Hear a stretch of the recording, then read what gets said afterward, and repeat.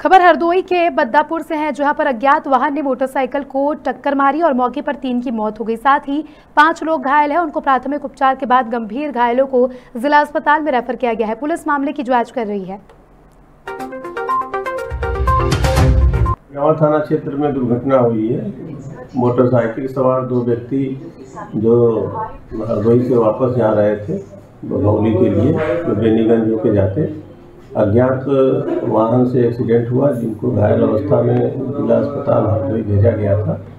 जहाँ उन लोगों की मृत्यु हो गई है और पोस्टमार्टम की कार्रवाई की जा रही है। थाना मझला और थाना शाहबाद में दो घटनाएँ हुई हैं, जिसमें दोनों में ही मोटरसाइकिल के में आप आमने सामने दुर्घटना हुई है। थाना मझिला में दो लोग घायल हुए हैं और थाना शाहबाद में जो घटना हुई है, उसमें तीन लोग घायल हैं, एक लोग की मृत्यु जगह घायलों का उपचार सी शाहबाद में कराया जा रहा है।